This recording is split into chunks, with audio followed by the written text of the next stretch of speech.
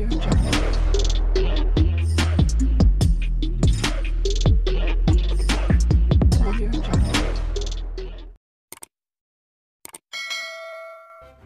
kasih karena memilih channel ini. Sebelum kita mulakan video ini, sila pertimbangkan untuk menekan butang like, share, dan subscribe, dan aktifkan butang lonceng Anda agar Anda sentiasa mendapat info-info percuma pada setiap hari dari channel kami. Dan tinggalkan komen Anda karena komen Anda amatlah dihargai. Terima kasih. Tahap kesehatan Perdana Menteri yang juga Menteri Keuangan Datu Seri Anwar Ibrahim pada ketika ini berada dalam keadaan baik biarpun dipenuhi jadwal padat sebagai pemimpin utama negara. Setiausaha politik Menteri Keuangan Muhammad Kamil Abdul Munim berkata, biarpun ada pihak mempersoalkan berkenaan tahap kesehatannya, ia tidak lebih sekadar naratif tak berasas untuk tujuan menyebar fitnah. Sebagai antara individu yang dekat dengan Perdana Menteri, saya mengesahkan keadaan dan tahap kesehatan beliau jauh lebih baik dari sebahagian kita, meski diasak dengan jadwal yang terlalu padat. Untuk sosok yang berusia 76 tahun, seperti beliau adalah biasa untuk kadangkala mengalami sedikit demam atau alahan. Namun, kecekalan, semangat, ketangkasan, serta kecerdasan beliau untuk bekerja terus mengampu, malah untuk kami yang berada di barisan staf dan yang jauh lebih muda ini untuk mengejar patch, kepantasan kerjanya juga kadang-kadang tertinggal, katanya dalam satu kenyataan di Facebook beliau hari ini. Beliau mengulas mengenai naratif fitnah yang coba dilemparkan beberapa blogger pembangkang berkait tahap kesehatan Perdana Menteri.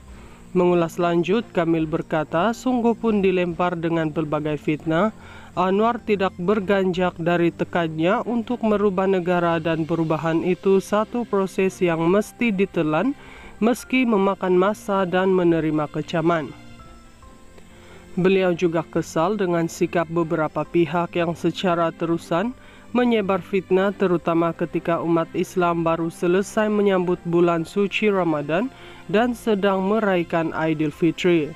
Namun, ruang suci ini terus dirempuh dengan hamburan politik yang berbau fitnah dan rekayasa oleh beberapa watak yang kita sedia maklum mempunyai dendam yang tidak berkesudahan terhadap Perdana Menteri yang kini gigi mengemudi bahtera negara ke mercu yang lebih tinggi.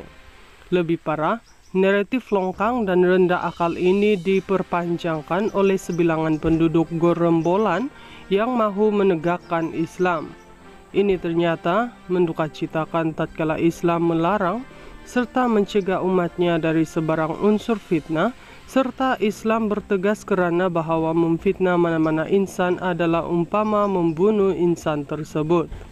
Penegasan ini juga tidak sampai ke benak sebilangan mereka. Justeru beliau menggesa polis diraja Malaysia PDRM untuk bertindak terhadap pemfitnah dan memberi ruang sebebas yang mungkin kepada pengkritik yang jujur kerana hak demokratik tidak mencukup amalan memfitnah dan rekayasa. Tahap kesihatan Perdana Menteri yang juga Menteri Keuangan Datu Seri Anwar Ibrahim pada ketika ini berada dalam keadaan baik biarpun dipenuhi jadwal padat sebagai pemimpin utama negara. Setiausaha politik Menteri Keuangan Muhammad Kamil Abdul Munim berkata, biarpun ada pihak mempersoalkan berkenaan tahap kesehatannya, ia tidak lebih sekadar naratif tak berasas untuk tujuan menyebar fitnah. Sebagai antara individu yang dekat dengan Perdana Menteri, saya mengesahkan keadaan dan tahap kesehatan beliau jauh lebih baik dari sebahagian kita, meski diasak dengan jadwal yang terlalu padat. Untuk sosok yang berusia 76 tahun, seperti beliau adalah biasa untuk kadangkala mengalami sedikit demam atau alahan. Namun, kecekalan, semangat, ketangkasan, serta kecerdasan beliau untuk bekerja terus mengampu, malah untuk kami yang berada di barisan staf dan yang jauh lebih muda ini untuk mengejar patch, kepantasan kerjanya juga kadang-kadang tertinggal. Katanya dalam satu kenyataan di Facebook beliau hari ini. Beliau mengulas mengenai naratif fitnah yang coba dilemparkan beberapa blogger pembangkang berkait tahap kesehatan Perdana Menteri. Mengulas lanjut, Kamil berkata, sungguh pun dilempar dengan berbagai fitnah, Anwar tidak berganjak dari tekannya untuk merubah negara dan perubahan itu satu proses yang mesti ditelan meski memakan masa dan menerima kecaman. Beliau juga kesal dengan sikap beberapa pihak yang secara terusan menyebar fitnah terutama ketika umat Islam baru selesai menyambut bulan suci Ramadan dan sedang meraihkan Aidilfitri.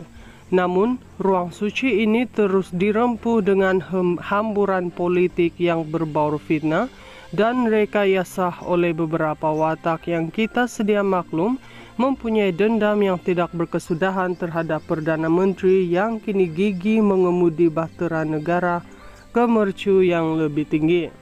Lebih parah, naratif longkang dan rendah akal ini diperpanjangkan oleh sebilangan penduduk Gorembolan yang mahu menegakkan Islam. Ini ternyata mendukacitakan tatkala Islam melarang serta mencegah umatnya dari sebarang unsur fitnah, serta Islam bertegas kerana bahwa memfitnah mana-mana insan adalah umpama membunuh insan tersebut. Penegasan ini juga tidak sampai ke benak sebilangan mereka. Justru beliau menggesa polis diraja Malaysia PDRM untuk bertindak terhadap pemfitnah dan memberi ruang sebebas yang mungkin kepada pengkritik yang jujur kerana hak demokratik tidak mencukup amalan memfitnah dan rekayasa.